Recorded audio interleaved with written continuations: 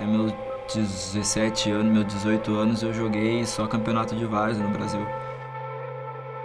Nunca tive chance em categorias de base nenhuma, é, fui rejeitado em muitas categorias de base. E como isso não estava acontecendo, é normal tu, tu, tu receber propostas para entrar no, no mundo do tráfico,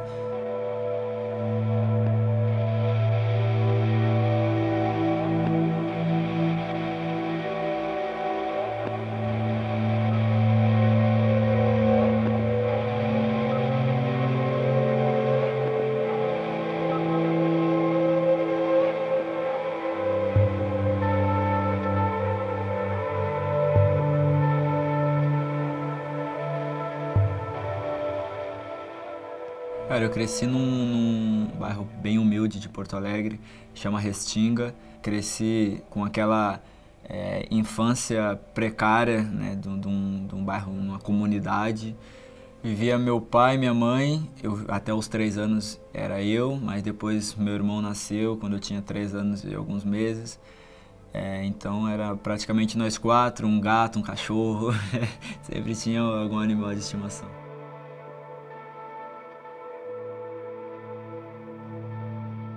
Era uma casa pequena, mas que era, que era preenchida com, com, com o nosso amor um pelo outro.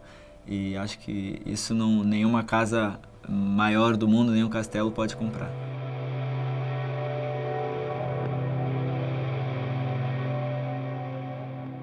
Foi um lugar onde, onde eu aprendi é, o que eu sei fazer hoje profissionalmente, eu aprendi a ser homem, eu, eu aprendi muita coisa vivendo lá dentro e eu sou muito grato é, pelas pessoas que me rodearam, que me rodeiam até hoje.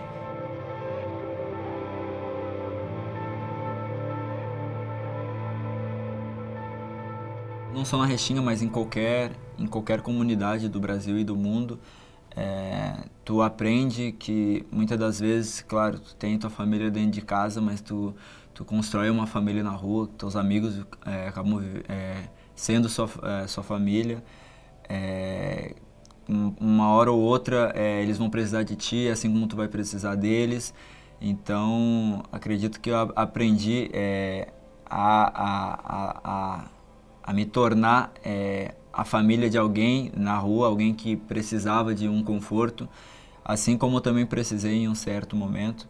Então, a gente aprende a, a um fortalecer o outro, é, a, a ser honesto, porque é, é, muito complicado de onde tu vem, tu sabe a tua realidade, então tu sabe a realidade do outro, então aquilo acaba é, mexendo contigo.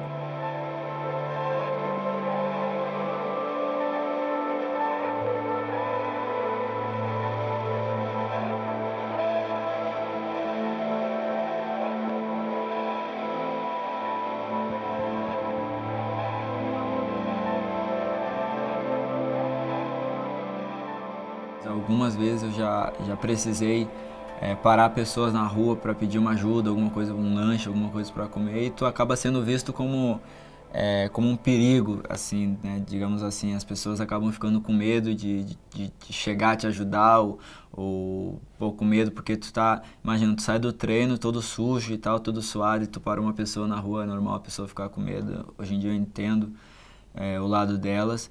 Então já precisei, já precisei pedir dinheiro na rua, já precisei pedir comida na rua.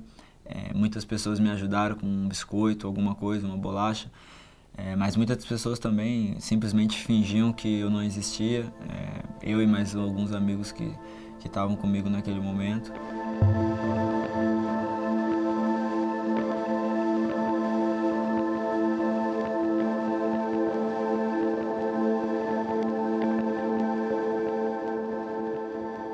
Cara, eu joguei até meus, até meus 17 anos, meus 18 anos, eu joguei só campeonato de várzea no Brasil.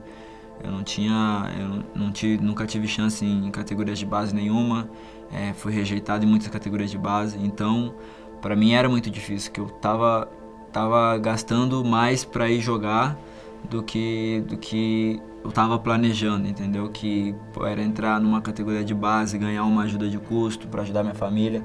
E como isso não estava acontecendo, é normal tu, tu, tu receber propostas é, para entrar no, no mundo do tráfico.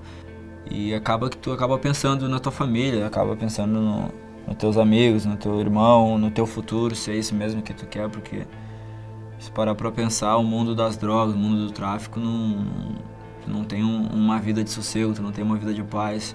Muito bem, tu, tu hoje tu pode estar vivo, amanhã tu pode estar morto ou preso. Então, graças a Deus, eu sempre tive muita cabeça, meus pais sempre me ajudaram muito a entender é, o que era certo e o que era errado e eu sabia que o futebol estava sendo difícil, mas eu sabia que era aquilo que eu queria, então eu só podia continuar correndo atrás e trabalhar para esperar se iria colher os frutos ou não.